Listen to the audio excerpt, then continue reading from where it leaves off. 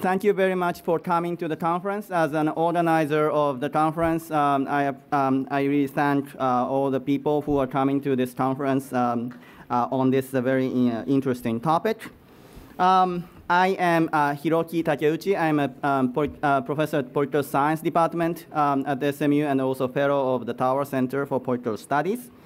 Um, before starting the panel, I'd like to thank um, uh, the staffs of the Tower Center. Um, uh, without the staff, we cannot do anything. Um, we are having more events this semester uh, than ever.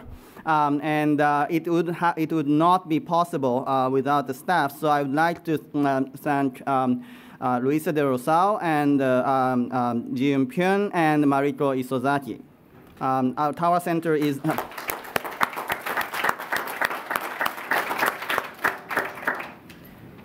Okay, so uh, thank you. So um, now uh, we are moving uh, to um, uh, the, our uh, today's panel, um, panel two about the politics, uh, which is a very peaceful topic without any controversy. Um, so, um, well, we have three panels and three presenters, and we are going a little bit differently from um, conventional way of, of, pa of panel. I I'm a moderator, and uh, I am also a discussant, but I'm more a moderator than a discussant. So uh, I start um, the discussion um, with um, uh, setting some uh, setting the tone of the uh, discussion in this panel, and then um, I will introduce three panelists, and then after the presentations, I will not comment on their presentations, but um, you can comment on their presentations. Um, so from the yesterday's um, Secretary Steinberg's um, presentation, uh, keynote speech at dinner, um, which I enjoyed a lot and very informative. Um, I would say uh, three things. Uh, I, I, would throw in three things for uh, the kickoff of the discussion. So, and which is highly related to uh, the three presentations um, you will uh, listen to um, soon.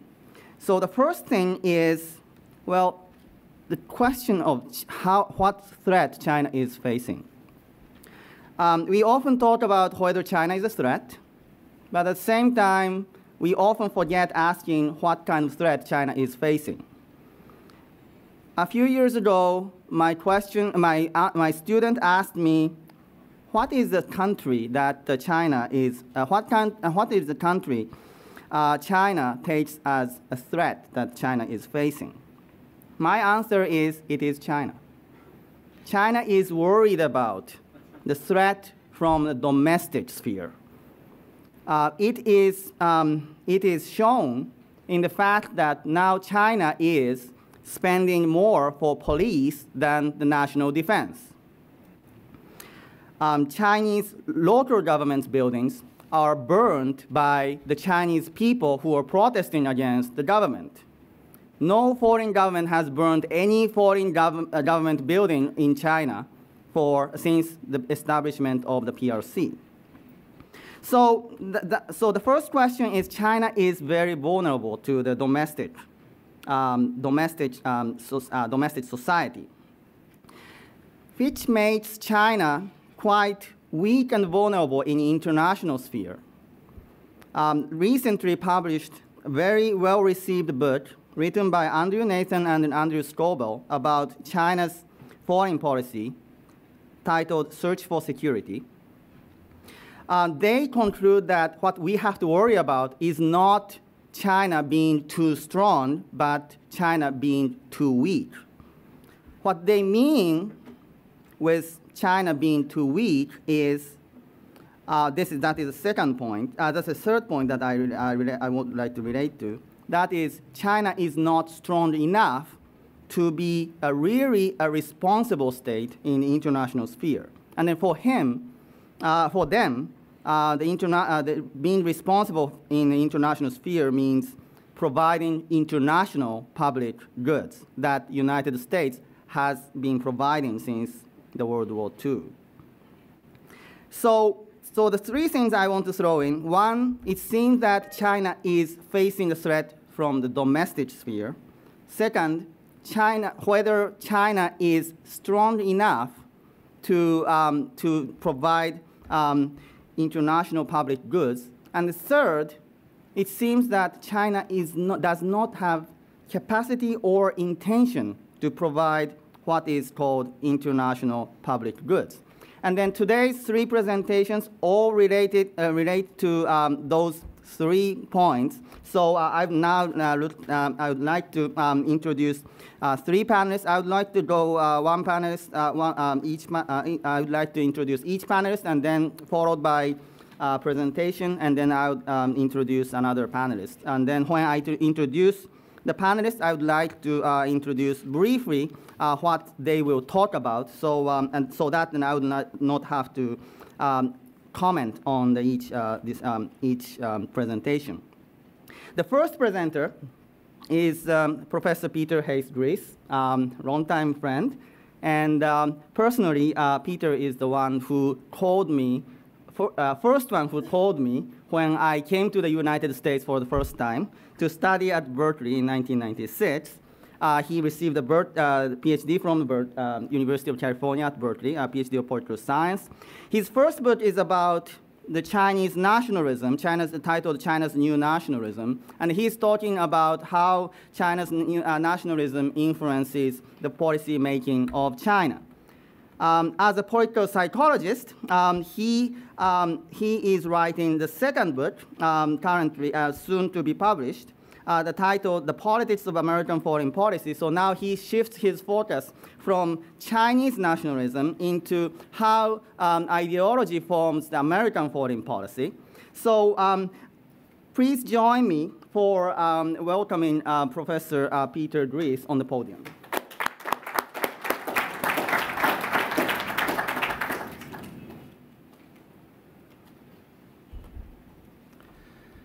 Thank you, Hiroki, and uh, I'd like to thank Jim and the Tower Center uh, for organizing this event and for including me. Um, I guess uh, I was just thinking as Hiroki was introducing me that I haven't yet thanked uh, Kokubun Sensei because with uh, Kokubun Sensei was, was my teacher briefly uh, at Keio in Tokyo when I was studying Japanese there many moons ago. Um, but without Kokubun Sensei, I don't think I, I may not have met uh, Hiroki. So that's something I, I owe a, a thanks to, to Kokubun Sensei for introducing uh, the two of us quite a while ago uh, in California. Um, so today I'm going to kick things off um, with a discussion precisely of um, Hiroki has sort of summed it up uh, very well with his first point. Uh, the argument I'm going to be making is that you cannot understand China's behavior in the Diaoyu Islands last year um, unless you look at it from the inside out, unless you understand the domestic politics. Um, I'm not going to go through all the history. You've heard some of it already. Um, Admiral uh, Walsh mentioned uh, the, the role of the Tokyo mayor, uh, responses to that. Then the Japanese government says, let's purchase the um, the islands, get it out of the hands of this nationalist and diffuse the situation. Instead, it actually makes things worse. Um, and you have just a huge mess in 2012. I wanted to give you a little bit of a feel for the mess. Um, this is uh, an example of the kinds of rhetoric that was displayed on the streets of China last year, um, just translating the, the beginning of this banner in front of, uh, looks like an Audi dealership. Um, even if China is covered in graves, we must still kill all Japanese. 也要杀光日本人. Um, and this is not unusual. Similar kinds of stuff appearing in Chinese cyberspace. Um, and I want to point to the one in the middle. 不杀日, the translation that I've made for that is, without killing Japanese, I cannot relieve the hatred in my heart. Uh, 难解心头之恨. Um, I guess thinking about what we've heard so far this morning and last night, um, I will say there is one, whoops, there's one phrase that's been sort of conspicuous in its absence, which is we've talked a lot about sovereignty, uh, but we haven't talked about sovereignty as subjectivity. And I guess that's also part of the direction I want to point in, in my comments today, which is sovereignty is not just about territory. Sovereignty is also about identity. And specifically, if we think about the sort of metaphor of uh, the body politic, um, that's how we think about our nations, right? The map, the territory becomes symbolic of, of who we are. So, you know, losing an inch of territory is symbolic to cutting off your, your finger, except potentially even more fundamental because it's sort of like um, all hands on deck. You know, it's not just the hand, it represents the entire person. Um, so these disputes are zero sum, not just for material reasons, but for psychological reasons. They have to do with subjectivity. And there's, on the Chinese side, I want to give you an impression of the kinds of emotions that are implicated in this dispute. And it stems from the century of humiliation and Chinese narratives of victimization at the hands of the Japanese. Um, just to, to recall last night, there was a question about Taiwan and pointing out that Taiwanese also dispute Japanese sovereignty. Huge difference, though. Taiwanese do not share the same narrative of the century of humiliation, Japanese victimization. In fact, Taiwanese feel very positively towards Japan. In a survey that I did a couple years ago, only Singapore rivals Japan in warmth in Taiwan. So very, very positive. Whereas in surveys I've done in China, Japan is at the very bottom with Vietnam. So they're just polar opposites in terms of, of Taiwanese versus mainland Chinese attitudes towards Taiwan. Um, and these have to do with very different historical narratives. Uh, they have to do with the issue of subjectivity and identity. Um, more rhetoric from the streets. Uh, Japanese and dogs may not enter. This has a historical referent. I don't have time to get into right now. Um, some images from the protests that occurred uh, just about a year ago.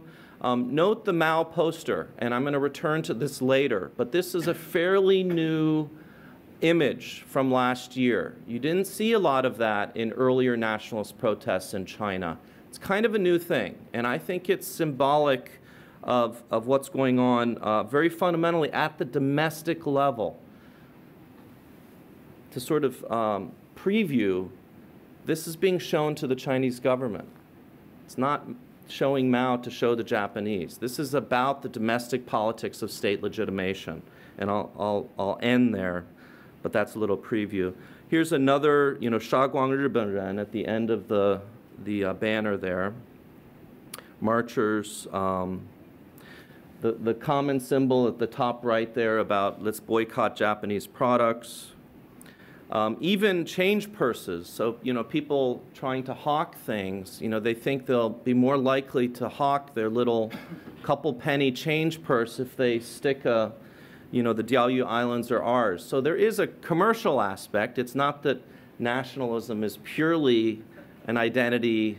I mean identities can be exploited, right? Uh, people buy uh, Dallas Cowboys shirts and wear them as part of their expressive identifying who they are. So someone may decide they want to buy this particular change purse um, to, to exhibit their, their patriotism.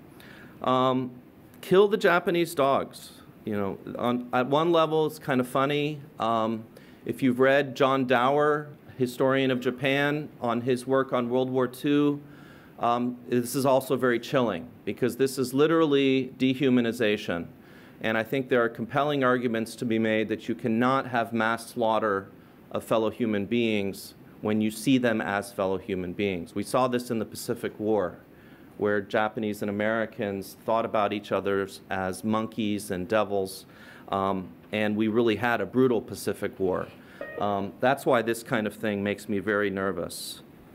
Um, so who cares? Recent scholarship, believe it or not, and I'll go through this fairly quickly, suggests that we shouldn't. And I think that this scholarship is, is misguided, frankly. Um, there's been a book out recently called Strong Society, Smart State that claims that the government is smart, is able to rationally manage Chinese nationalists. Uh, more recently, uh, a top uh, political science journal, international organization, published an article which essentially argued the opposite of what Hiroki and I um, Hiroki just argued and I'm currently arguing, but that it's not about domestic politics, that it's really about bargaining theory. It's about um, a kind of audience cost in an authoritarian context. To me, this kind of uh, argument is, is not particularly persuasive. Um, the idea that somehow the government is in total control of the domestic scene and it simply allows or doesn't allow protests based on the kinds of signals it wants to send to Japan. Um, it's a kind of nice rationalist theory and it can get published in, in good journals because it's a theory that you know, has a pedigree in political science. But to me, this kind of scholarship is dangerous because it can contribute to complacency. Um, I want to argue that actually popular nationalism does shape China's Japan policy. Um, it does appear that there is circumstantial evidence that is compelling that shows that China's Japan policy actually responded to popular nationalist demands. Now, we can't get inside the minds of China's foreign policy decision makers. So there's no slam dunk evidence on this. But, but what I want to suggest is that there is circumstantial evidence in terms of sequence, right? The most basic requirement of causality is that a cause precedes an effect right? And I think you can trace across 2012 an escalation of rhetoric being followed by an escalation of policy. Um, and why is that? So why does the regime respond? I mean, this is a difficult argument to make. China, they don't vote in China. This argument has been made in the United States that, you know, there's an electoral connection. Why do our leaders care about American opinion on Syria? or any foreign policy issue. It's because we'll vote the bums out if they take our policy in a different direction. That's the core of the argument in the American context, is that voting is what leads, what connects public opinion and foreign policy. So how does that work in China, where there's no voting? I want to argue that essentially that because there's no voting, the Chinese government does not have the procedural legitimacy that leads Americans to follow, say, George Bush into war, even when we don't agree. We say, okay, I disagree with your decision, but you were voted in, you have a certain amount of procedural legitimacy, therefore I will essentially allow this to happen. I'll consent to your, your policy choice. Ironically, in China, because they don't have that procedural legitimacy, they become more dependent on their other sources of claims to legitimacy. And the argument I'm going to make is that nationalism has been core to Chinese Communist Party claims to legitimacy ever since uh, the 1940s. Um, and that because of that, they're very much um, sort of tied to nationalist public opinion. Uh, this is just a kind of visual representation of some of uh, what happened in 2012 and uh, Kokubun sensei may be able to give us more details uh, at lunch today. Um, but just very briefly, you know, my uh, quick analysis of 2012, and it hasn't been followed up into 2013, is that you really did see a dramatic escalation in terms of what the Chinese uh, government did, both in the water and in the airs over the disputed Diaoyu Senkaku area. And I believe that that was a response to the nationalist uh, outrage. And again, this is the argument. What is Mao known for saying in 1949? It's not a communist claim to authority. It's not workers of the world unite. He's known for saying China has stood up. That's a nationalist claim to authority. The Chinese Communist Party has staked its claim to legitimacy ever since its founding on the basis of saying we defeated the Japanese. We're going to make China strong again. And of course, the other bases of authority, I mean, communism was part of the, the ideological claim, have now been delegitimized. The Chinese Communist Party no longer claims you should let us rule because we're communist. It's really only communism in name only. The Cultural Revolution just basically killed any belief in communism in China and if that wasn't enough, the Tiananmen Square, I think, pretty much ended it. So to understand the Chinese Communist Party's rule today, think about it as a one-party dictatorship, not as a, a, a communist regime. So could it be that the Chinese Communist Party is actually more reliant upon its nationalist credentials today? And again, here's the argument I laid out earlier. Lacking the procedural legitimacy that democratically elected governments have, facing the collapse of communist ideology, the party it becomes increasingly dependent upon its nationalist credentials to rule. So it becomes hyper attuned to the nationalist opinion I was showing you at the beginning of the talk. And this then provides rooms for popular nationalist counterclaims, often employing the very language of the state back against itself. So the popular nationalists can essentially, you could argue that in Chinese cyberspace, anti-Japanese nationalism is the most democratic space. Anything goes, freedom of speech, because the government would pay a high price if it tried to, to crack down. Um, and I think this picture really captures uh, the, the point succinctly in the sense that, you know, what you see here is nationalist protesters in conflict with Chinese police. And so this is the domestic politics of the foreign policy issue of anti-Japanese sentiment. Um, and you see evidence of this online last year. Anger is directed not just at Japan, but also at China. So this, uh, this sentence I've translated as China will launch the strongest counterattack. Very sorry, very severe condemnation, a kind of sarcasm in cyberspace that's incredibly potent. And you can bet, I believe, that the Chinese government is paying very careful attention to this, that the Chinese people are demanding tougher actions towards Japan. And uh, I guess maybe this is the place uh, I return to this point. These posters are about expressive politics. It is like wearing the, the Cowboys jersey. It's about saying, I'm a nationalist. But I think it's also about saying, this is our patron saint. And you can't come in here and repress us like you repress a Falun Gong demonstration. Because this is about nationalism and you're claiming your legitimacy based on nationalism. Therefore, we have the right to contest that claim. Uh, this is a little bit crude, but it actually does. Um, my grad student found this. Um, I probably shouldn't have shown that, but it does. Forget the finger, but the point is, America is in the middle we can stick our heads in the sand, you know, and be an ostrich and pretend this is a problem between China and Japan. But this is a very serious issue, and I was very grateful for Admiral Walsh's uh, opening this morning to, to set that context for us.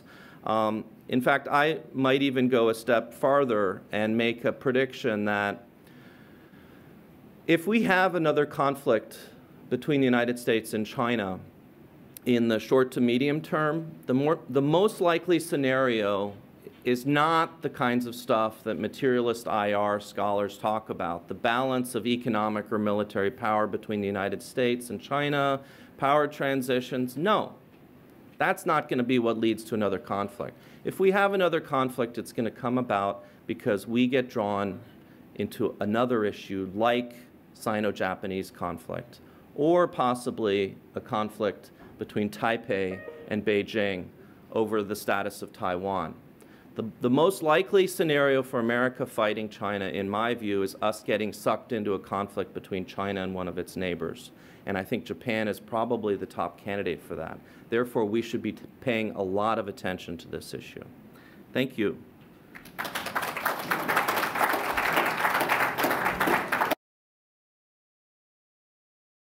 No one could uh, provide international public goods. And we should remember that this morning uh, we, had, we started this history panel. Historically, in East Asia, there is no time period when balance of power brings stability. Always some big state, powerful state provides stability.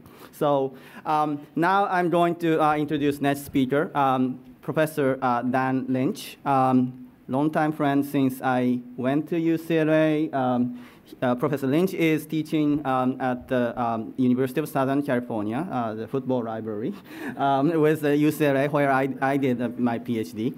Um, and uh, when I was organizing this conference, and I was thinking about who I, want, I would like to invite, and then Dan Lan's name comes up to my mind uh, immediately uh, because I was looking for somebody who can give an informative and provocative talk. Um, Coincidence, we have to sit at the same table at the association um, Professor Lynch, the first book is about uh, um, after the propaganda state, uh, and then talking about now during the Maoist period, propaganda is the way of policy making. Now uh, China needs more institutionalized policy making, and that's what um, uh, that's the book that he wrote, uh, his first book, and then second book.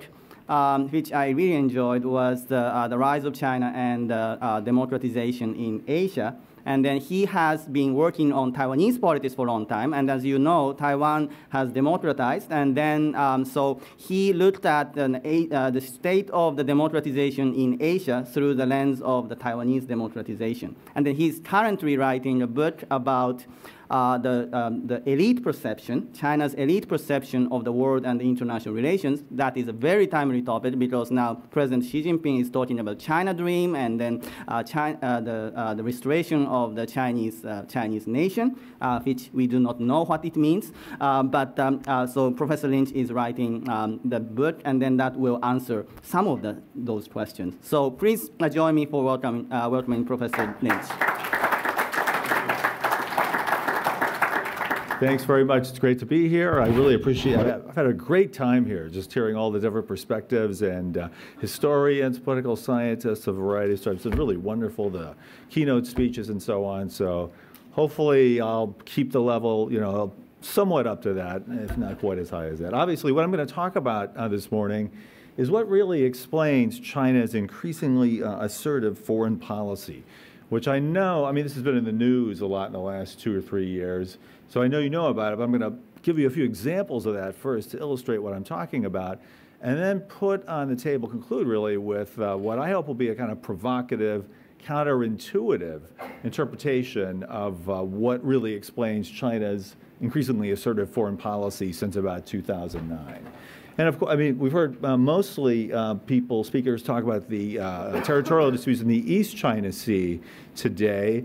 I'm going to mention that uh, in a, in a, at a point or two, but mostly concentrate on the South China Sea to give that a little bit more attention, just to illustrate the points that I'm going to make, although the increasing assertiveness obviously also applies to the East China Sea, the conflict with Japan. So indicators of increasing assertiveness. Let me just throw a few of these out at you. So uh, Sam Zhao, he's a professor at the University of Denver. Here's a quotation from an article he wrote. China has grown increasingly vocal in protesting and pushing back U.S. naval operations uh, in international waters off its coast. We just heard Admiral Walsh this morning give a very good example of that. A group of Chinese vessels uh, intercepted an American surveillance ship in the South China Sea in March 2009. That's approximately when the increasing assertiveness begins although the American Navy had routinely deployed there to monitor Chinese military activities for years or decades. Uh, in February 2010, uh, State Department cables subsequently leaked through WikiLeaks, published by WikiLeaks, quoted U.S. Ambassador to China Huntsman, reporting that many leading figures in the foreign diplomatic community there in Beijing were becoming increasingly exasperated by what they perceived, felt as China's newly pugnacious approach and the way they were dealing with treating uh, the foreign diplomatic community at the July 2010 ASEAN Forum, uh, uh, Regional Forum. Chinese Foreign Minister Yang Jiechi, during a tense discussion of the South China Sea uh, disputes, coldly reminded his ASEAN counterparts, especially looking the Singaporean representative right in the eye, uh, said, uh, You have to remember, China is a big country, and other countries are small countries, and that's a fact. That's kind of cold, especially if you're a small country. In June 2012, the PRC upgraded a place called Sansha, uh, a tiny town on Yongxing Island in the Paracels. I'll show you a map here in just a second. From a county administrative office to a prefecture, prefecture with formal responsibility for administering all the land features and the water claimed by Beijing in the South China Sea. See the Paracel Islands up there? That's where uh, Sansha is now, this new prefecture uh, on Yongxing Island, up there in the Paracels, which uh, China invaded and took from South Vietnamese forces in January 1974. It's controlled ever since. That is now effectively, uh, from China's perspective, the capital of the South China Sea. So the, administ- the administrative center of everything China claims in the South China Sea. And you see the great fanfare uh, that accompanied the establishment of this new prefecture. This was intentionally designed, I think, to be provocative. Right? You don't go through this fanfare, invite foreign media, establish a beautiful Soviet-style headquarters for this uh, new administrative uh, capital if you don't want to send a signal that you're, you're getting tougher. Okay? And then also in June 2012, uh, China outmaneuvered the Philippines in negotiations to end a two-month standoff over Scarborough Shoal, which we've heard mentioned a few times uh, since last night, Huangyan Island in Chinese. Initially, Beijing agreed to what later it turned out was an American proposal for both sides. There was a bit of standoff for both sides to withdraw their uh, uh, fisheries administration uh, vessels uh, to cool down tensions and end the standoff. Philippines complied. China then immediately reneged and sent even more vessels in and has occupied Scarborough Shoal ever since for two years. Recently, you may have read the news in the last couple of weeks.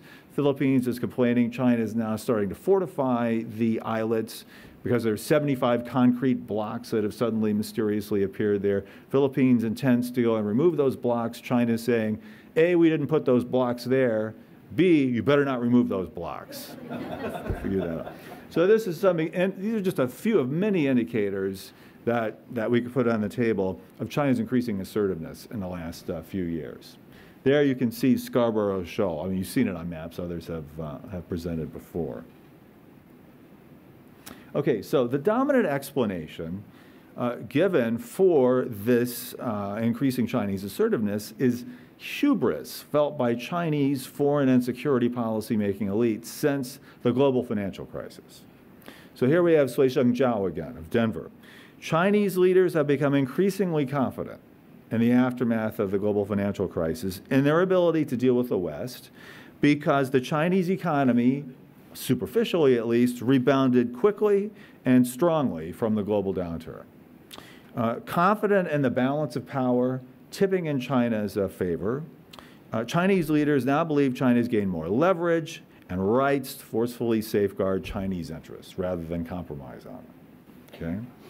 Others came to the similar conclusions in, in terms of hubris being the dominant explanation.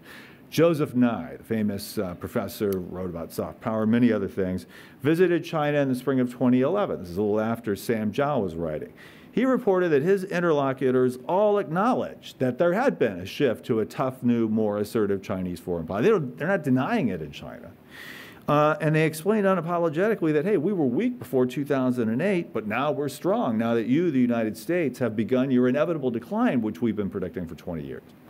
One of the analysts elaborated that after the financial crisis, many Chinese came to believe that we in China are rising, the U.S. is declining. Then uh, Michael Swaine, senior Chinese analyst, who actually in the past has been very sympathetic to the CCP and its foreign policy claims, came to uh, a similar conclusion in 2012, a year later still. He said, after visiting China and talking with a lot of people, many Chinese observers not only recognize that the Chinese government is becoming more influential and assertive, but regard such a, a development as entirely unsurprising. They calmly assert that China has marched to the center of the world stage and is more publicly emphasizing the defense of its core interests as part of a long-term process of development involving the gradual expansion of Beijing's global power and influence. And this kind of rings true. It's consistent with Xi Jinping's China Dream discourse, because that also envisions a Chinese kind of, re, kind of recentering of China in world history and global affairs. But there's a puzzle that has led me uh, in the last year or so, year or two really, to question this explanation of hubris explaining, explaining uh, the shift to the greater assertiveness. And the reason is, and this relates to the research that Hiroki talked about, this third book that hopefully is going to be finished really soon, uh, that I'm writing, um, read a lot of Chinese economists analyzing China's economic strengths and difficulties between 2009 and 2013. In other words, precisely at the same time as the shift to a more assertive foreign policy. And I find almost universally, literally almost universally, Chinese economists are highly pessimistic about the state, the current state, and especially the near-term future state of China's economy, okay? Which seems inconsistent with feelings of hubris, right? Let me give you just a few, I mean, you, you read this in the newspapers all the time now. It, it did not appear in the, uh, in the English language business press until just the last couple of years, I think. Remember in 2009, 2010, even into 11, all the business press was praising China for its fabulously successful response to the global financial crisis, putting America to shame. Now that whole discourse has shifted, but the Chinese economists knew all along, going back to the mid late 2000s, we're really not nearly as strong economically as we look. And let me just give you a few examples of that. Um, and these are really quotations from internal circulation only Chinese uh, economic documents that you can access at various libraries. You all know about the uh, um, excessive reliance on investment uh, to stimulate GDP growth that China fell into in the last 20 years. You know, it stems from this uh, cozy relationship between state-owned banks, which provide uh, loans to state-owned enterprises, especially the hundred or so centrally controlled state-owned enterprises, at interest rates that are often below the rate of inflation, in other words, negative real interest rates, and that the state-owned enterprises don't ultimately have to pay back if they don't want to anyway. So there's just this constant flow of fun. And, and by the, of course, to do that, you have to keep interest rates artificially low for the hapless Chinese household savers. So there's a financial repression of families who would be consuming Chinese production. So to give loans at really low rates, sometimes below inflation, to Chinese state-owned enterprises. So um, you, see this Ye Tan, this well-known economics journalist, reporting that consumption as a percentage of, of GDP fell already from 46.4%, very low in 2000, to just 35% 2000. So what is it in the United States?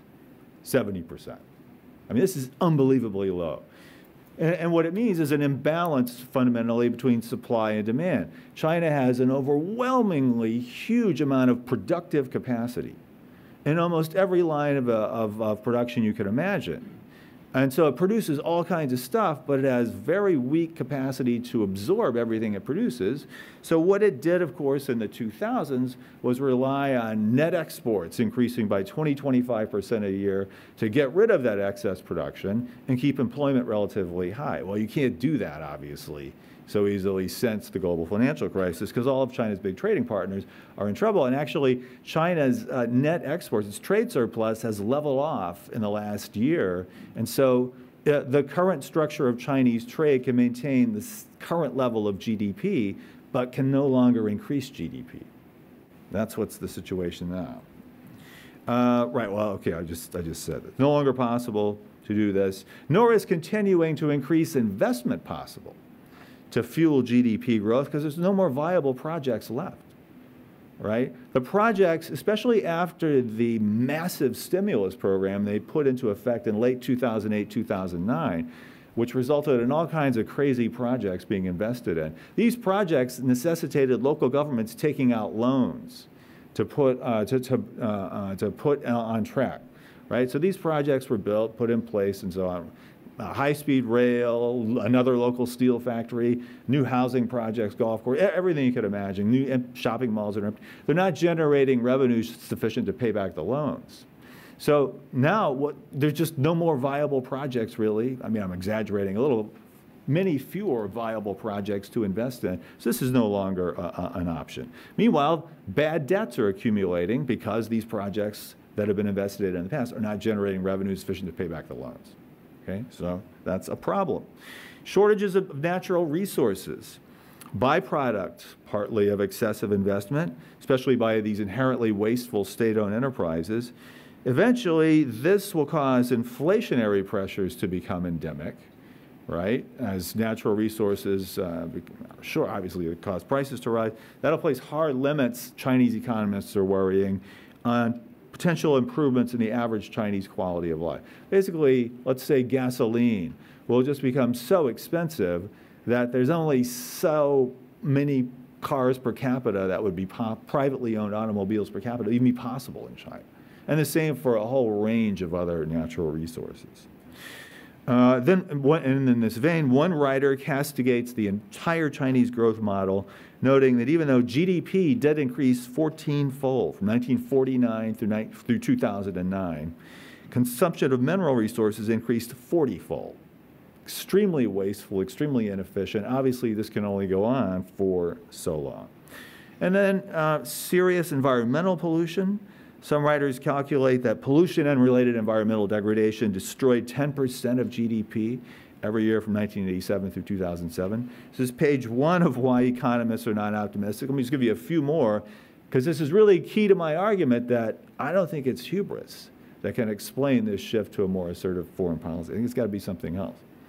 Inequality, just let me point out, not only is it a socio-political problem, but when you have massive inequality, you also can't make a, a shift to domestic consumption-led growth GDP growth away from investment or net exports to domestic consumption-led GDP growth because if the average household doesn't really have enough to buy detergent and so on every week, you, you, there are television sets and so on, it's, it's not going to happen. You need a greater level of equality in order to be able to, main, to manage a transition like that.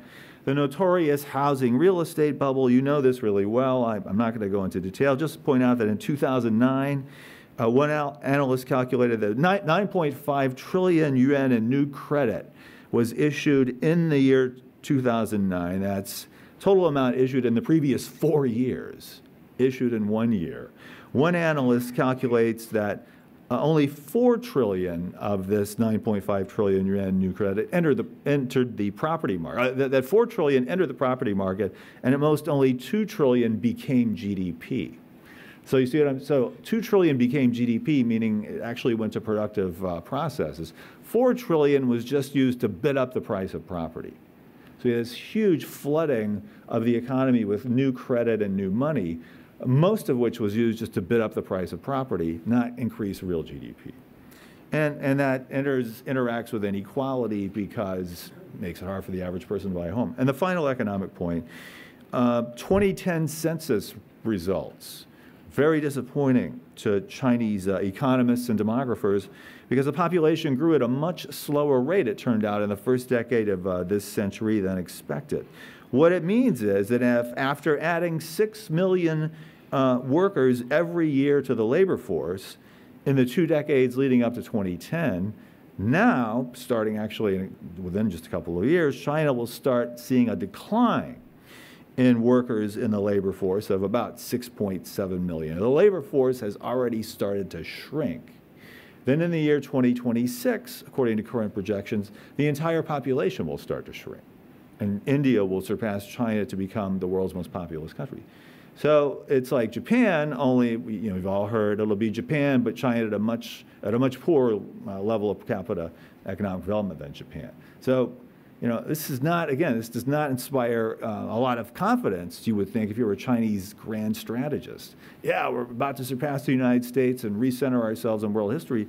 It actually looks like they're going to be heading in the opposite direction and that the rise of China will slow.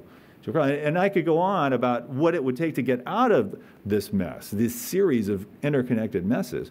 Basically, what it's going to take is a sharp reduction in investment that would have to be sustained for several years while they make the shift to domestic consumption-led growth by increasing wages and so on, it's going to mean a recession.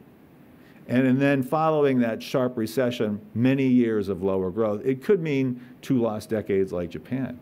Because then once the recession and the several years of slower growth finally possibly start coming to an end, then the demographic problem kicks in. And this is what all China, I mean, literally almost all Chinese economists are saying. Okay, so how could there be hubris? right?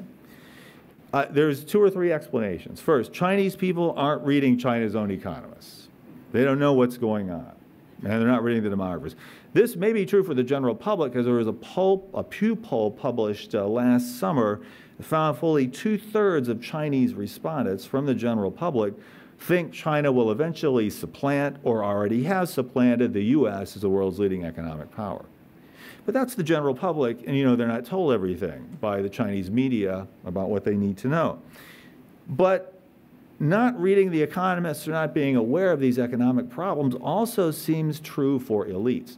In the course of, of this book project, I've also read a lot of Chinese IR specialists, political scientists, and so on.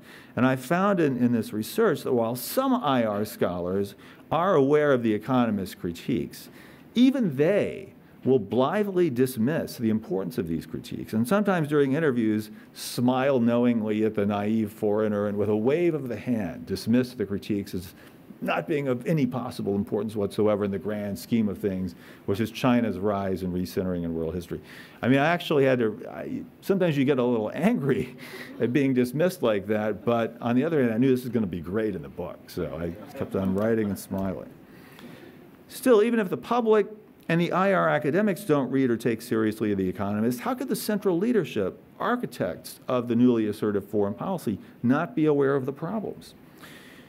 Their statements make clear that they are actually aware of the problem. If you look at the statements of the previous premier, Wen Jiabao, who stepped down last, uh, uh, last March, actually, and current premier, Li Keqiang, they, over and over again in their public statements, make it clear they understand really well, thoroughly, the economic problems. Um, what, even, uh, and, and, and even though these two, the premier, uh, former premier, current premier, probably don't directly play a role in uh, constructing the foreign policy strategy. That is, they probably don't sit in the weekly meetings of the leading small group on foreign affairs and security affairs. They answer directly to the party general secretary who chairs the Central Military Commission and chairs those meetings every week. So it seems implausible to me that the top leadership would not know, including in the PLA, would not know what's going on economically. So that leads, and this is where I'll, I'll, conclude, that leads to an alternative explanation for the new assertiveness that I don't really know, I don't know if this is true or not. I'm just going to throw this out there and see what you think and, and suggest we debate this and put this out there and see what we come up with. Fear and anxiety. The highest elites know fully aware, I think, that the days of the economic rise are numbered. I mean, we may be talking about just two or three more years of this. And they worry, consequently, about a window of opportunity closing. Right now, the world still views China with awe, especially in Southeast Asia, but in other parts of the world too.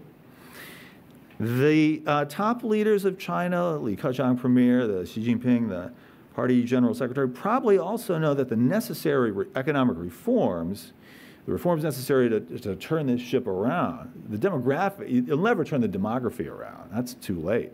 But the economic reforms are going to be difficult or impossible to implement because of the opposition of very strong entrenched interests uh, of not only of state-owned enterprises themselves, but of the interlocking families which now control them. It's going to be difficult to uh, implement these uh, uh, reforms, so you better act now while China is still regarded by so many foreigners with awe, because five, ten years from now, if China enters a period of first recession, then low growth, and that continues endlessly, what kind of prestige and awe are they going to have? Now is the time to establish effective control over territories which the security elites want for a variety of reasons. Admiral Walsh talked about needing to, the, thinking that they need to control everything inside the first island chain. Already, they've been talking about that for a couple of decades now. But probably also they, they would want, others in the elites would want to control the uh, maritime territories in particular because of the potential that they uh, contain lots of natural gas or energy, energy as well as food resources, which are going to be really important if they don't succeed in reforming the economy.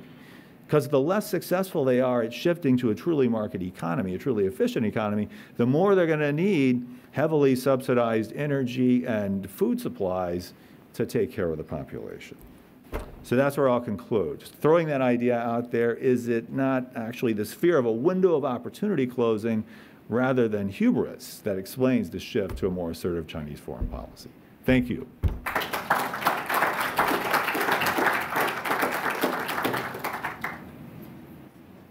I think I have correctly warned that he's provocative. Um, now uh, I introduce the third speaker uh, who has a very hard job that is giving us an optimistic tone. Um, um, the uh, third speaker is uh, uh, Professor William Norris, um, teaching at the Bush School uh, of Texas A&M University. he came um, to Texas a few years ago, and um, uh, huge addition uh, to the studies of Chinese politics uh, in Texas. Um, when we met for the first time, and then when he was coming to uh, Texas A&M, I said I was so happy, and then I said, uh, okay, so you're welcome to our neighborhood. And then he's, he's from uh, uh PhD of um, um, MIT, and then his friends from MIT was wondering, just how close is it? And it's about three-hour drive. And then I thought it was an, a definition of the neighborhood, but uh, his friends from East Coast, which has, and if you drive for three hours and you encounter, you, you pass at 500 universities probably, um, that it, was not, it is not a, uh, a neighborhood. Um, but anyway, uh, so he's working on uh, international relations, but of China, but especially the interaction between security and economy, which is very important. Currently, uh, academia are very much uh, compartmentalized. Uh, so, um, and then security experts and the economy experts are not uh, speaking with each other. But Professor Norris is working on both security and economy and their interactions. So please welcome me. please join me for welcoming Professor Norris. Uh, thank you very much, Hiroki. Um, and I, I, uh, I'm reminded of the analogy that says when you try to keep one foot on the dock and one foot in the boat, you'll end up falling in the water. So, I, although I try to bridge these two worlds, uh, I'm often told by members of each of those worlds, you can't do that. Uh, you're not. Uh, so, um, I just want to say thank you to Jim and, and Hiroki and uh, Diana for bringing me in on, on this conference. I think it's been a really terrific conference. Um, my comments, I think, are going to follow nicely with what both Peter and Dan have already laid out. Um, I have a slightly different interpretation, I think, maybe than what Dan left us with, but I think it'll be interesting food for thought. Um, uh, so to get there, and I just want to make sure, how much time do we still have? How important is it to uh, stay on schedule here to 11:45? Because that gives me nine minutes. no, no, we, have got a little bit of. Okay, because I could do it in nine if you want me to, or I can actually take the 15. All right. All right. Um, so I'm going to look at uh, a series of recent events just to kind of bring everyone up to speed, and then I'm going to try to give you an interpretation as to why those might be happening. And that interpretation, I think, will dovetail nicely with what we've already heard uh, this afternoon, this morning.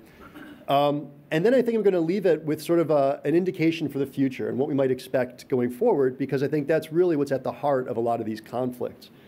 Um, and this is the panel on politics, so I sort of, with much hesitation, wade into this historical uh, narrative. I'm always reminded of uh, of the, the bane of political science when we deal with historians is how much violence we do to, to the nuances of history. And we do ask these questions about why, because we care about why these things happen.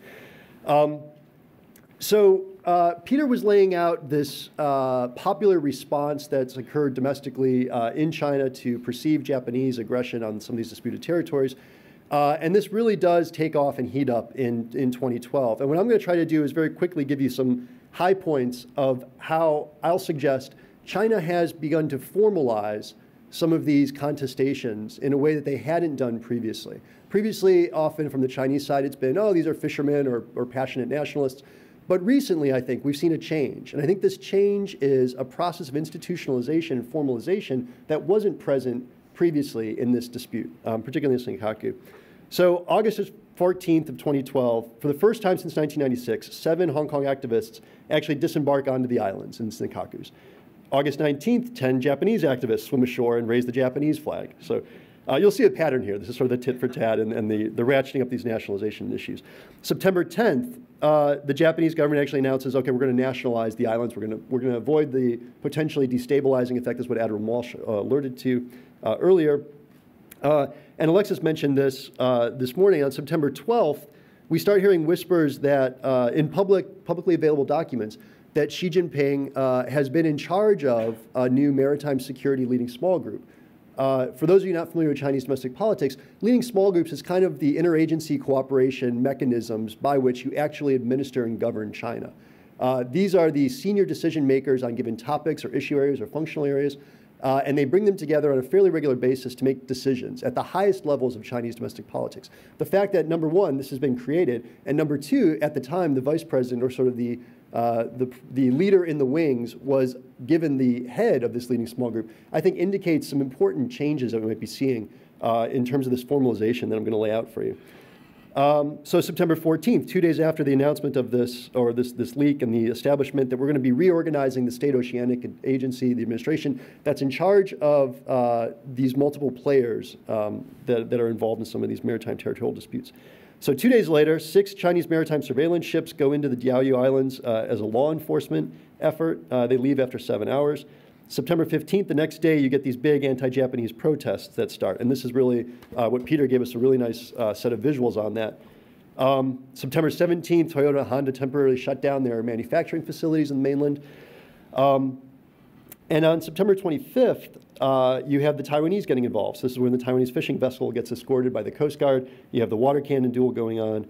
Um, Finally, the mainland authorities break up some of the protests at the end of September, September 29th, and start saying, okay, enough is enough. We've had about two weeks of these fairly escalated anti-Japanese uh, demonstrations, publicly speaking.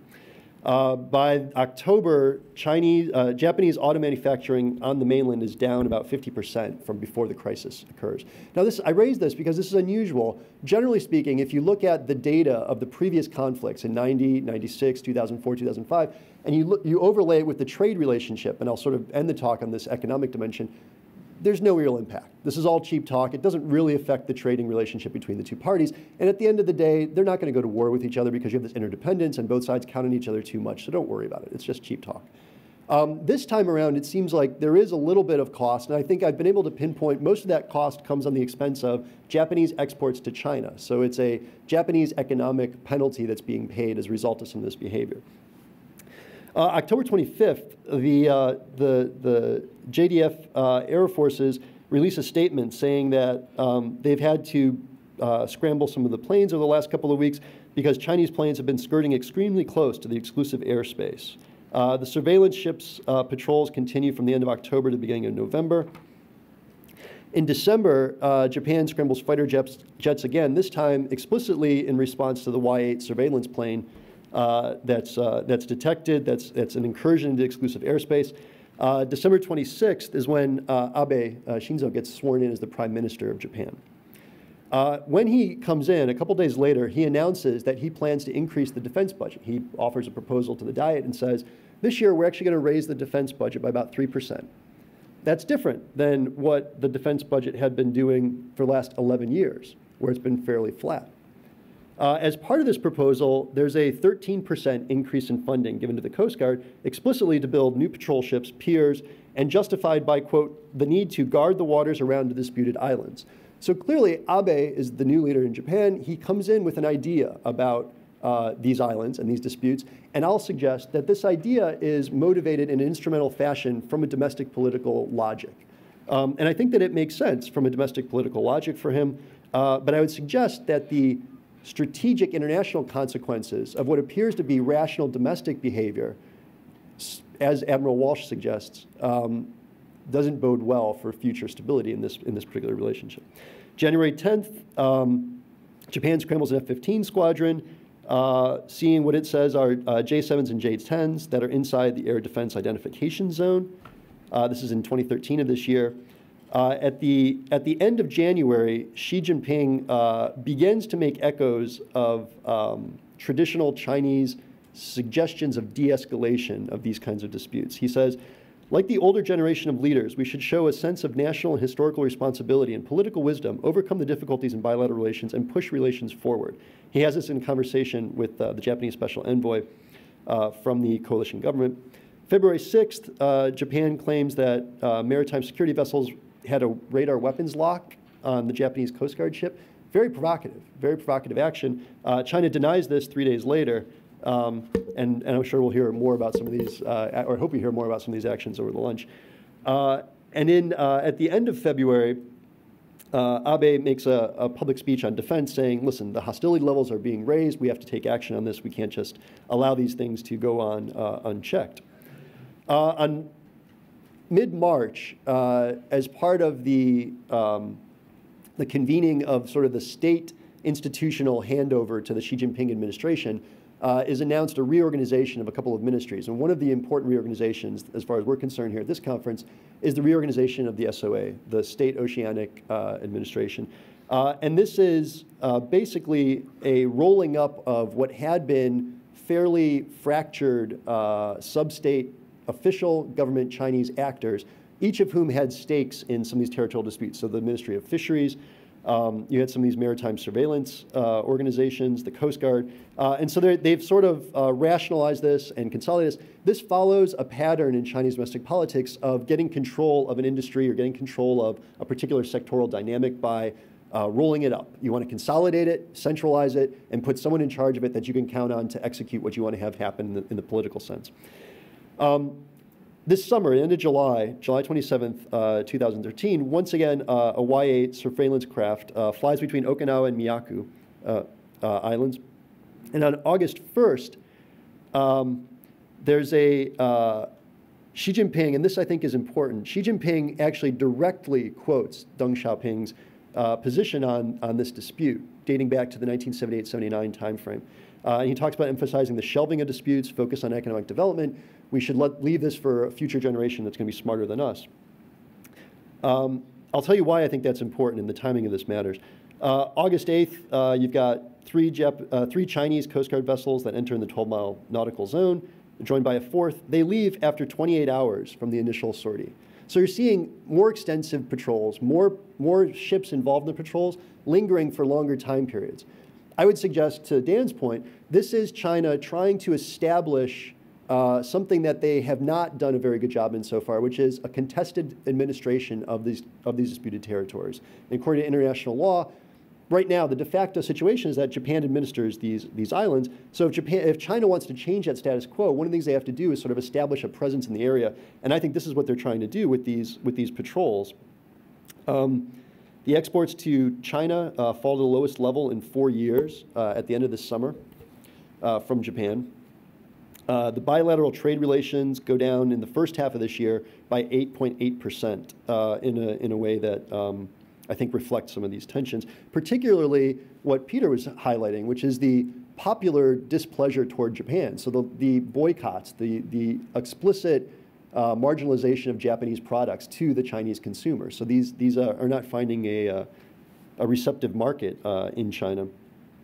Uh, and then on September 9th, so about 10 days ago, uh, the Japanese SDF scrambled jets uh, in response to what's described as a drone aircraft, uh, either in or near uh, Japanese airspace. And I wasn't able to pin down exactly whether it violated the airspace or not. Um, and then uh, September 14th, once again, you have four Chinese Coast Guard vessels patrolling waters uh, around the Senkakus. So, all told, in the last 12 months, the Chinese SOA, so the Chinese administration in charge of these provocative actions, reports 60 Chinese patrols into these, uh, into these disputed waters, and they're publicizing this. This is not something they're trying to hide. Once again, why would you publicize this? Well, because you want to establish a track record that the administration of these disputed territories is under dispute, something that Japan has not yet uh, agreed to. Um, the Japanese SDF confirmed this, and they, sort of, they report that on average, between the beginning of July to the beginning of September, there's a airspace or maritime incident on average every three days during this time period. That's, that's a lot. That's a lot. Uh, they don't all involve clear cut violations of the claimed territorial zones, but China is lighting up Japan's defenses. They're probing, they're testing, they're trying to see oh, if we do this, what do they do? If we go here, what do they do? If we send this many, who do they send? They're, this is the classic sort of probing of a, of a uh, resolve. So why do you see this? Why do you see this kind of uh, behavior? This is Admiral Walsh's very good question. Why does this happen? Um, I think uh, I would suggest that it's, it's domestic political rationales. And I'm going to walk you through two stories. Uh, and again, they're only stories. This is all very uh, circumstantial and circumspect. We don't have very good data on how China makes its senior decision making. Um, someday, maybe we will. Right now, we don't. Uh, what we can observe are some behavioral aspects of it and we can draw on what we understand and what we know about from previous behaviors to, to have some suggestions about why this is happening now. So I looked at this in terms of who wins and who loses in the domestic scenes on both sides. So in Japan, who wins from having escalation? Well, clearly Abe shores up his nationalist base. He comes into the uh, premiership, to the prime ministership with an agenda to revise the national constitution, to revise Article 9, to make Japan a normal state. He also wouldn't mind uh, improving the defense budget a little bit. So this serves both of those, both of those domestic political goals, and this is a perspective that he has. Um, So I think that that makes sense for where he is in the domestic Japanese political scene. Uh, and I think that, um, that this fits a domestic Japanese political logic. Japan has the de facto administrative burden. China often signals its desire to damp this down, to, to ratchet down tensions. And I think when it does that, it provides Japan with the sense that they can control the escalation. They can turn up the heat on this, on this situation and they can turn it down because they're the ones that have the initiative, is the sense I, I'm sensing from the Japanese domestic political scene. And so they feel comfortable playing this card to achieve the other priorities from a domestic political scene. On the Chinese side of the equation, who wins and who loses from escalation? Uh, I think this is a little bit more complicated. Um, clearly, the Chinese uh, anti-Japanese sentiment, the hardliners, those are going to be the ones that are going to be winning. Uh, but is Xi Jinping, and this is one of the things that, that we're sort of, in the US, we're sort of trying to scratch our heads about, is he really a hardliner? Is he really a nationalist? Uh, I don't think we have a lot of evidence yet that suggests that that's definitively the case in what we're dealing with here. I'll suggest a little different conclusion to the same data that Dan presented just recently. I think what's going on is I don't think necessarily that the Chinese leadership has given up on the idea of economic reform. I think it is a daunting task. I think they understand it's going to be a daunting task. But I think that they still believe that they can do this. And I think Xi Jinping shows up with Li Keqiang and he says, we need to set the stage for what is going to be a heavy lift. This is not going to be easy. There's going to be a lot of resistance. And Xi Jinping looks at explicitly Deng Xiaoping in 78 and the relationship between China and Japan in the 78 situation, where they're signing the Treaty of Friendship between China and Japan. There's uh, a movement in the Japanese Diet to uh, undercut this, this effort. They say, well, let's, we need to resolve the Senkakus before we sign this treaty. Who leads that movement? Do you guys know? Abe's father is the, is the, the parliamentarian who says, this is what we should do before we sign on board with China. Eventually, they sort of say, no, no, no, that really doesn't make any sense. And Deng's idea of, we'll table this now, we'll move on and, move to other things. So they are able to eventually overcome this, uh, this inertia. So Xi Jinping says, okay, well, how does Deng do this? And you have to imagine, and this is where I think the, the historical parallel and analogy has some traction. Deng Xiaoping in 1978 has just completed his initial consolidation after the death of Mao. Deng Xiaoping knows, although this, this dust up with Japan happens in April of 1978, mid-April 1978. Deng Xiaoping in December of 1978 gives a very famous speech where he announces the launching of this opening up and reform effort, Gaige Kaifang. That speech is in December 1978. Deng knows what he's about to do. He knows that he's about to radically transform China's economic development situation. He also knows that to do that effectively, he needs to marginalize the hardliners. He needs to complete his consolidation of the grasp of, of power that he has over Hua Guofeng, because he's still sort of cleaning up the mess that, that happens in the wake of, of Mao's passing.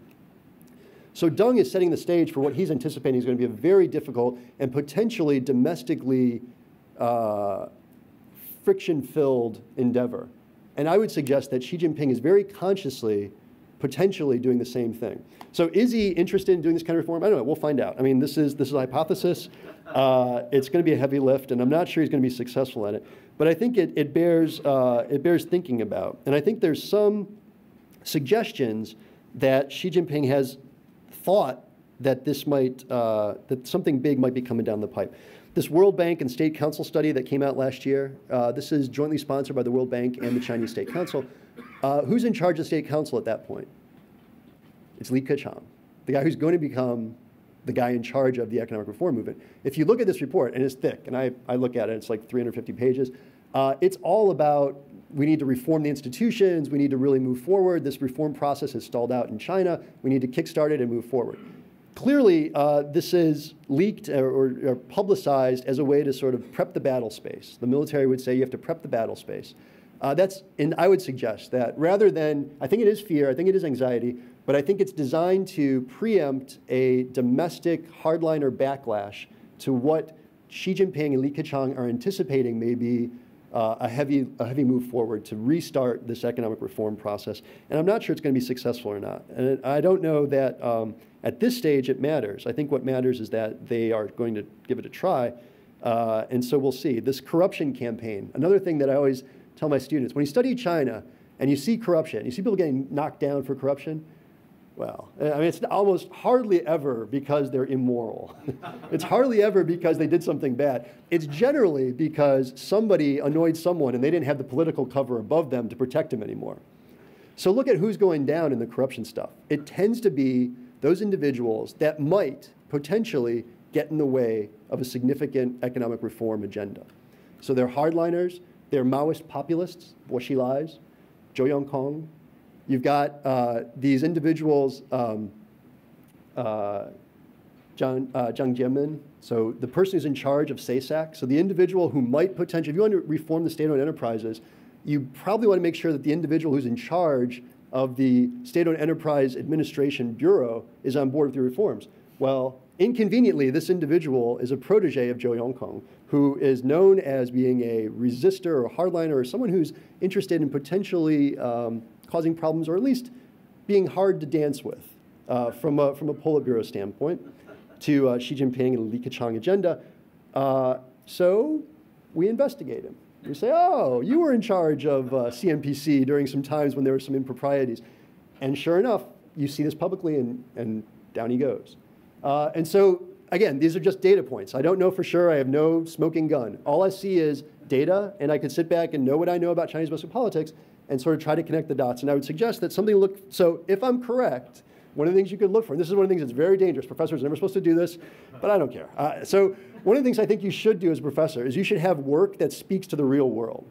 If this hypothesis is actually true, this hypothesis I put out there that says maybe there's an agenda going on here that's domestically motivated, that has these international security implications with the relationship between Japan and China, but if this is true, then sometime in the next 18 to 24 months, we should see an effort on the part of China's leadership to really move forward on this economic reform agenda. I don't know if it's going to work or not. That's not part of my story.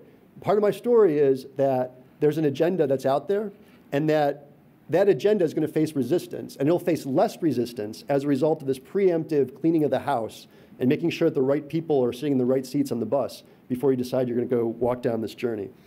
Um, so that's, uh, that's kind of the, the, the, story I'll throw out there. It's, it's similar. I think it sees the same data that Dan does, just a little different interpretation at the end. Uh, and I think it is done partly out of fear and anxiety, but it's a preemptive move to occupy the nationalist high ground before that's being used to potentially undermine. And this draws on Deng's experience in 78. So I'm happy in the Q&A to sort of get into the details on this.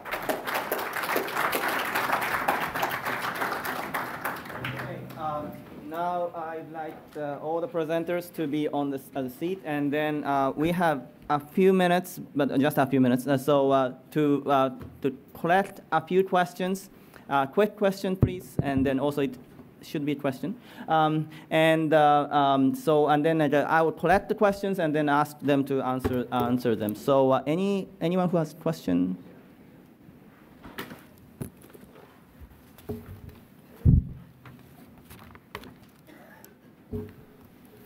Okay, one. Yeah. Okay, Liz.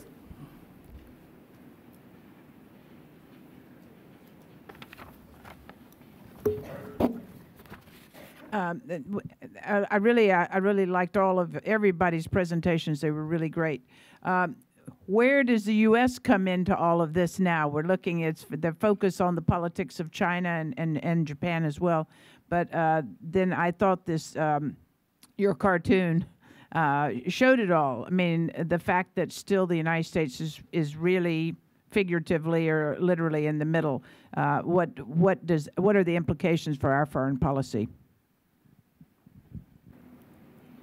Okay, uh, now I ask the presenters, panelists to uh, then conclude the panel. So uh, uh, each person uh, gives a brief comment to, um, um, to answer those questions. Uh, I'll think on the fly here. Um, in terms of the, the economic side, I'll, I'll leave it more to the econ experts, but you know, my, my sense of the issue of uh, Chinese holdings of American debt is, you know, if I owe you 10 bucks, you've got a certain amount of leverage over me, but if I owe you a million bucks, uh, you're pretty powerless. And um, that's pretty much my sense of uh, economic interdependence in U.S.-China relations today there is this popular view that somehow China has leverage over the United States because of the amount of money we owe them in terms of their purchase of T-bills. But I actually would be rather in, in the American position than to be a, a PRC citizen um, who has absolutely no control over the value of their dollar holdings. Um, you know, we make decisions about whether we want to value or devalue the dollar without consulting um, the owner of the most dollars. So we essentially determine the size of uh, the Chinese treasury. Um, so I'm not too concerned about that. I think we're getting the better end of that stick. The, the bigger question about uh, foreign policy implications for the United States, um, I don't know what I can say in just a, a few words um, other than what I, I, said before, which is we, we cannot stand back and pretend to just be a neutral third party. Um, unfortunately, the, the reality is, is that China holds the United States accountable for all of these issues, um, from Taiwan to you know problems with the Philippines to problems with Japan, because the underlying script is you know without China's without America's backing, countries like the Philippines would not stand up to China. Even Japan, without America, without the U.S.-Japan alliance, Japan would not stand up to China. So it's America's fault. We are to blame. And therefore, we're in the middle of it. And that's why I included that last slide, is because there's a lot of anger between China and Japan, but we're the one that's going to end up driving our aircraft carrier into those rocks. Um, so we need to realize that as much as we would like to step back and play the neutral third party, uh, that's just not the reality of how the PRC sees it. Well, first, I want to thank uh, my colleague, Professor Norris, here for really uh, coming up with uh, really. I mean, I think we both agree that it's not hubris which explains the shift to the to the more assertive foreign policy, but he really added a lot of value by pointing out that uh, it could be part of a strategy to uh, consolidate uh, or at least create a climate in which it would be difficult to dissent from the uh, tough decisions that will have to be made to implement serious economic reform. And by the way, not only in 1978 to 80 was this done, but also in 1958, the beginning of the cultural, uh, beginning of the Great Leap Forward. Mao created a, a climate of international tension when he was going to pursue these very serious. That's really a really insightful idea, and I'm going to steal that idea. Actually, no, no, I'll give you credit for it. We, we could collaborate on it. I don't know if you should steal from a junior faculty member. That's, that's not cool. on the uh, on the economic question questions. Uh, I, I, agree with my colleague here, Professor Gries, about the. Uh, see, the thing is, China doesn't really owe us any money. China bought securities, bonds with fixed dates of maturity, so it can't. It's not like it can't call in the loans, right? Those securities will mature at a certain date, and then China gets paid. In the meantime, it could sell those on the open market and if it does that, it has to worry about the value of its currency relative to the dollar. So I don't worry about that too much. I do worry about Amer American companies like KFC, which actually the, the whole Yum family, sounds kind of funny to say the whole Yum family, but I guess it's getting close to lunchtime. KFC in particular has been losing money for the last year in China because of a chicken scare because of uh, there were rumors circulated possibly by China's own chicken restaurant people that, that KFC was using chickens injected with steroids or something like that. And so Yum has been in trouble for the last year or so. But other consumer companies have done, it, it varies a lot by the, the field, right? Um, but you know, if they do succeed in making a shift to more consumption, uh, consumption-led growth, that'll ultimately be good for American and other foreign consumers because because those foreign cons uh, consumer products are very popular in China. Since unfortunately a lot of Chinese manufactured consumer products are not are not of such high quality. And then finally, on the, the really important question on American foreign policy. If I'm right, if Professor Norris is right, that it's not hubris, but really fear, uh, and the need to create a kind of a climate in which reform can be pursued, And what needs to happen is that the United States, Japan, South Korea, and uh, Philippines, and so on, really need to play it very cool over the next few years and be tough but also do everything you can, be very smart to not let things break down, deteriorate, escalation set in, and a war break out, or even mini wars break out that could create a really crisis type atmosphere. Because if, if, this, if the Chinese economists all those Chinese economists I read from 2008 or so to 2013 are right, then five years from now, China is not really going to be in a position to be pushing these other countries around. It's going to look a lot weaker, and again, it will inspire a lot less awe than it does now. So we somehow need to hold the line very cleverly, and then actually help China make that transition. Because ultimately, a healthy, consumer oriented China, possibly making a transition ultimately to some more liberal political system, would be actually good for Japan, the United States, and other countries in the region. Yeah, I would, uh, I would echo a lot of what's already been said. Um, on the debt ownership, I agree uh, with my other two panelists. I, I think the, um, the debt is really, you have to think about this in sort of macroeconomic terms. It's the residual when you hold your exchange rate fixed and have an export oriented growth economy. The third part of that triangle, the third leg of that triangle has got to go somewhere. And it's going to go, it goes to your capital account. So you end up getting all this American debt. There's no other asset class in the world that could effectively soak up that much liquidity. When you have that kind of uh, imbalance at this scale, U.S. government bonds is the only asset class that could possibly absorb that kind of demand without radically shooting up the price or down the interest rate, I guess. Um, so, so it is now that they've sort of woken up and discovered that they're in this pickle. Uh, they're trying to diversify out, but in terms of exiting the position, it's not a liquid position for them. It's not easy for them to exit out of this, and whether or not it can do any leverage, uh, I, I tend to agree with my colleagues. I just it doesn't strike me as being a very easily uh, leveraged strategic weapon uh, in international affairs. Now, where it might help uh, is on recapitalization of getting rid of some of these bad loans that they've underwritten now after the big stimulus in 2009. Um, and there's a track record again for having done this, where you use some of these, what ostensibly should be fiduciarily held capital accounts for domestic fiscal purposes. Eh, it's a little sketchy in terms of the economic uh, accounting at the at the national level.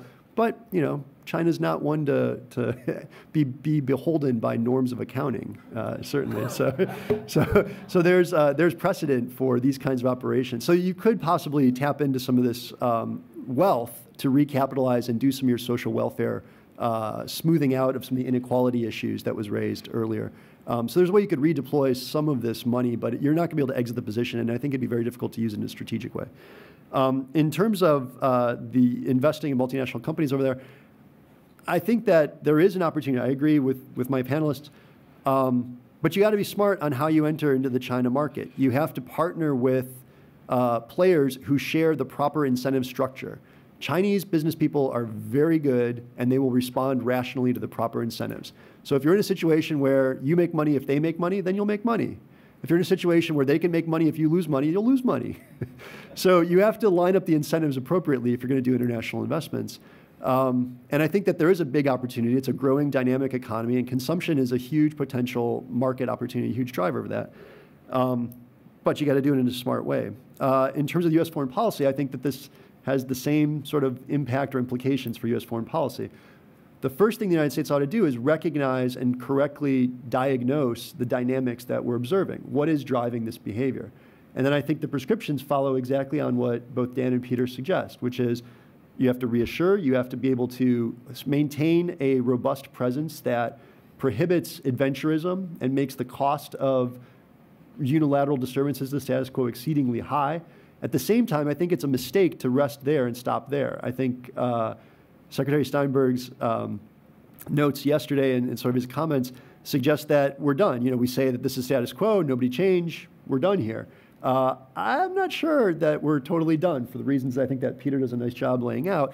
We're in it. I mean, whether you like it or not. So you better be in it in a smart way, and you better think things through. And I think uh, Josh Rovner's question yesterday, uh, I think, raised some of these inconsistencies in the potential U.S. strategy. I'm not sure we thought it through all the way if I'm right, I mean, if this actually is going to go towards an economic reform movement, then one of the big things the U.S. could do in a positive sense is to encourage that, to be an open player that's going to uh, embrace and help support that kind of a major movement. And there's, you know, there's more nuanced ways we can do that. But I think big picture wise, that's a generally speaking a good thing. I think if you can help liberalize China's economy, I think you're going to you're going to achieve strategic objectives for the United States and the U.S. foreign interest. Okay, now I would li- before lunch, I would like to introduce the last speaker of the morning session, uh, my colleague, Professor Diana Newton. Um, I think you can see, and many of you know Diana, and then uh, you can see her uh, bio from the uh, the booklet. So uh, just I would like to um, I'd like you to join me for welcoming Professor Diana Newton.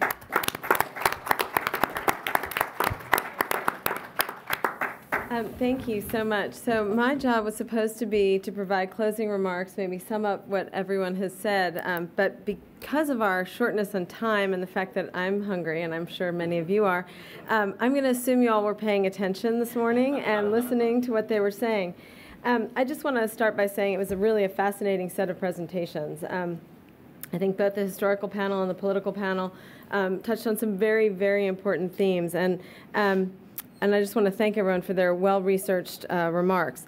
Um, I think a couple of things that I just briefly want to mention is that Admiral Walsh sort of started us out um, with a lot of good thoughts that have been echoed throughout the conference. But um, one of the things that he really did was he um, was the first to raise some of the recurrent themes today. Um, one being that these situations have a tendency to escalate very rapidly, and that that is a big part of the dynamic. Another theme um, was that minor issues become major very quickly. Mountains get made out of molehills, and people think, oh, this is small, it's, what's the risk? It's not a problem, and suddenly it is a big problem, and it's multinational.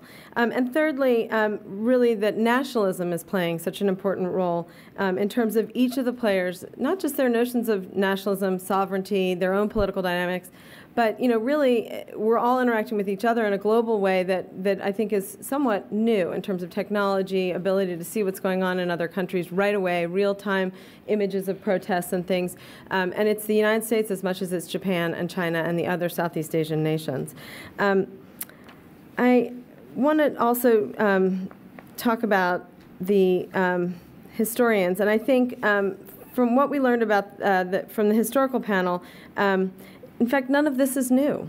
And that, you know, I think in some ways we, we take comfort in that. Um, in some ways it makes us nervous because um, maybe while uh, no actual war has escalated because of these territorial disputes in Asia, we've had plenty of examples in our worldwide history of wars escalating over minor territorial disputes. So, um, but I think the, the fact that the territorial tensions rest on arguments of sovereignty, protection of power for audiences at home and ab abroad, diplomacy, customary usage, ancient maps that may have been drawn with completely different intentions but are being used today for different reasons.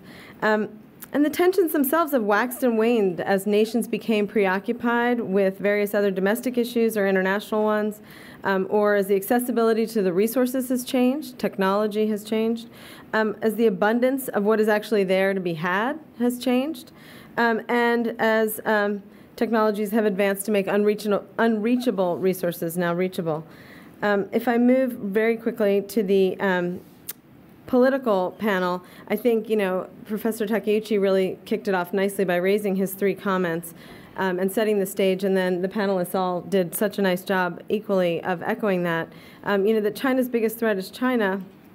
The global community needs to worry about um, China's weakness and what China plans to do as an you know international stakeholder. Will it be responsible or not? And and I think um, that this discussion that all three of them really focused on um, a lot of the um, sovereignty and nationalism issues and how that plays out um, and how it will play out and how the United States needs to react to that is very, very important. And as a former policymaker, I guess my question would be, how do we use all of this great information to make more effective policy along the lines of one of our questions? Um, the United States has said it doesn't have an opinion about who owns the territories. It wants a negotiated resolution, no conflict, peaceful uh, resolution, or at least a tacit agreement to disagree. I think it's somewhat what we heard from Jim Steinberg last night, that just stay put. Everybody, don't move, freeze. Um, and that's maybe not that realistic. Um, but what, so what is the right path for U.S. policymakers? Um, do we ratify UNCLOS so we can advocate from within instead of trying to get China to adhere to a treaty that it has signed but we have not? Um, do we push for some rules of engagement for incidents at sea or some kind of information sharing or negotiating entity? Um, the problem with that, of course, is that no one wants to sit at the table, um, except for us, maybe. Um, and China definitely doesn't want us at the table. Um, and that relates, you know, to the importance of the sovereignty and the nationalism and the desire not to appear weak domestically, and how that's driving um, this complicated set of issues. Um, It's come up a lot. Josh asked it last night. Um, others have touched on it today. Should the U.S. continue to clarify its intentions, or does that just make things worse? Um, you know, Secretary Steinberg shared with us that a more credible commitment gives Japan more room to maneuver. Um, if Japan feels insecure, it will then start lashing out in ways. I mean, I think Will sort of said the domestic political reactions in Japan are understandable and somewhat under control, whereas Peter's reflection on what's happening in China suggests it's a little bit more out of control. Um, and you know, but will it always be in control in Japan? And can we rely on that? And is that a good good way to make policy? Um, it seems to me um, that in a lot of ways this discussion sounds or echoes in my mind of discussions about the Middle East peace process. Um, not to close on an incredibly pessimistic note, but um, the competing claims for the same dirt, this idea that no one party is right, no one party is wrong. They've all been there, they've all used the land, they've, they've fished around it, they've driven flags up flagpoles, um, used it for, for sanctuary at different times, and um, that there's no way really to kind of come out with a clear, divided plan um, to say, okay, you can have this and we can have that. Um, I think, though, that some of the reflections that we actually um, did not go to war in the past over this is helpful, and that maybe we can find some some um, favorable outcomes in that, and that also perhaps the idea that um, using these, I, you, figuring out what is really at stake here. Is it the oil and gas? And if it's the oil and gas, then can't those things be um, sought out jointly and in consortia? And they have been in other parts of the Pacific, and so certainly um, that's one option. But I think really the most interesting and telling is what is going on in China today and how that will play out over the next few years. And I think that is where um, to echo our panelists, where the United States policymakers should go, because I think that is where they have the most ability to shape this in a positive way and have some control over the situation, which the nationalism and the um, dramatic tendencies of the nations involved and their own individual feelings of absolute sovereignty um, are much more out of our control as policymakers. So thank you very much.